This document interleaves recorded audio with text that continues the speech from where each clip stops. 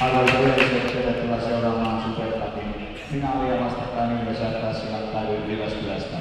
Kotijoukkue Ilves, joukkueen kapteeni 18, Juha-Pekka Torvinen. Maalivahdit yksi, Tuomas Kallioinen, kolme.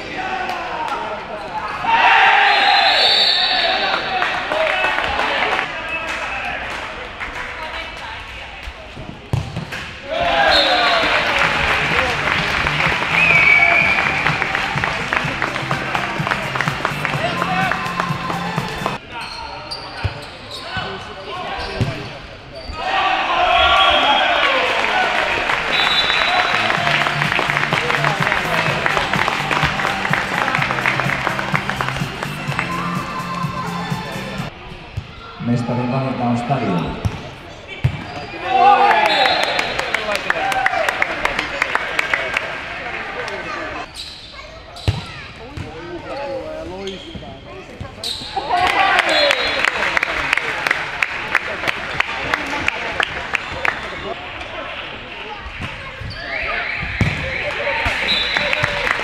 Ja näin tämä vuotinen Supercuppi päättyy Ilveksen voittoon maaliin 5-2.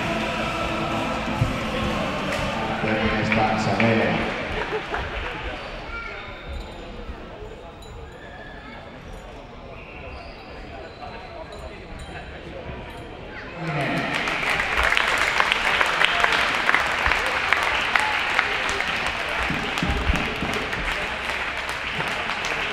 Kiitoksia kaikille ja lokakuun 12. päivä sitten alkaa kotiottelu Ilves ESC.